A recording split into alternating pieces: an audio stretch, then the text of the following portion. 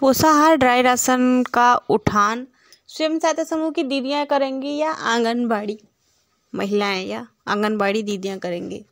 उसी के बारे में इस वीडियो में बात करेंगे कि कौन सी दीदी को उठान करने का नियम है और 2024 में क्या नियम होंगे?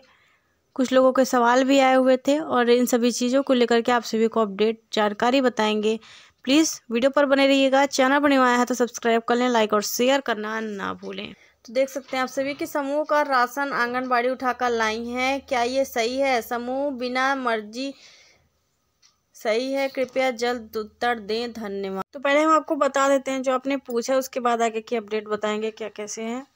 तो देखिए दीदी, यहाँ पर हम आपको बता दें कि नियम जो है, अभी तक जो लागू था कि समूह की दीदियाँ राशन का उठान करेंगी और ला कर, ला करके आंगनबाड़ी केंद्र पर उपलब्ध करा देंगी राशन को, ठीक है? राशन को दे देंगी। उसके बाद वितरण भी कराने का कार्य समूह की दीदियों का था, साथ में, आंगनबाड़ियों के साथ में रह करके वितरण कराने का कार्य था। लेकिन आज कुछ कई महीनों से क्या हुआ है कि नियम थोड़ा सा परिवर्तन ये हुआ है, क्योंकि लड़ाई झगड़े बहुत ज़्यादा होते थे, इसलिए ब्लॉक वालों ने क्या कहा है, नारेलम वालों ने सर ने कि आप सभी को राशन का केवल उठान करके आंगनबाड़ी केंद्र पर उपलब्ध करवा देना है। अगर वो आंगनबाड़ी दीदी सहमत हैं कि आप उपस्थित रहें तो उपस्थित रह करके आप वहाँ पर उपस्थित केवल रह सकती हैं, बंटवाने का, बांटने का कार्य तो वही करेंगी, आंगनबाड़ी दीदी करेंगी। अब बात यहाँ पर आती है, आपने जैसे कि पूछा कि राशन का उठान जो है, जब हम सीडीपीओ कार्यालय से राशन का उठान करते हैं तो क्या वहाँ पर जैसे कि सी डी कार्यालय से उठान करने का कार्य जो है, समूह की दीदियाँ ही करती थी, ठीक है? और उनको आदेश भी दिया गया था।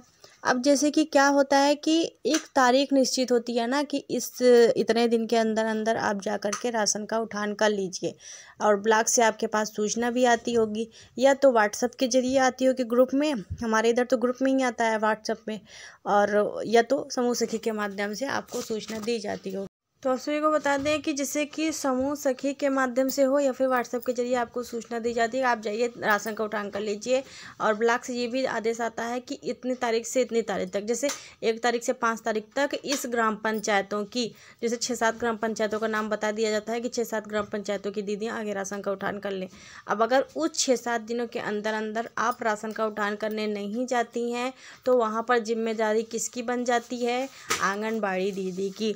अगर आप राशन का उठान छः सात दिन के अंदर अंदर नहीं करेंगी तो वो राशन उपलब्ध करा दिया जाता है आंगनबाड़ी दीदियों को, ठीक है? और अगर आप पहले से मतलब आपका जो, आपको जो समय दिया गया था, उस समय पे आपको उठान कर लेना था, अगर आपने उठान नहीं किया तो वो उपलब्ध कराया जाएगा डायरेक्ट आंगनबाड़ियों को, क्योंकि राशन तो वितरण करना ही है।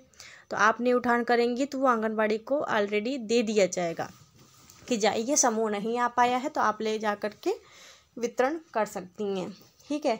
और कुछ इस तरीके से नियम है। अब अगर आपको टाइम दिया गया है किस समय में आप जाइए और उस उस वक्त वो ले जा, ले गई हैं, राशन का उठान की हैं तो फिर ये गलत है, ठीक है? इसके लिए आप शिकायत कर सकती हैं, अपने एनआरएलएम अधिकारी से बोल सकती हैं, या फिर C D P O ma'am से भी आप बात कर सकती हैं, ठीक है? जो वहाँ पर ऑफ़िस में ही आपको मिल जाएँगे। ज़्यादातर बहुत ही कम मिलती हैं, लेकिन मिल जाती हैं तो अच्छा है, या मैम या सर जो भी आपके यहाँ उपस्थित हो। हमारे इधर तो लेडीज़ हैं, आपके इधर भी हो सकता है लेडीज़ हों, और साथ ही साथ कुछ इस तरीके से नियम हैं।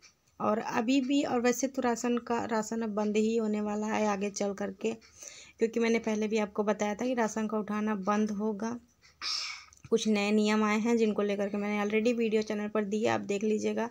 2024 में नियम में बदलाव होंगे।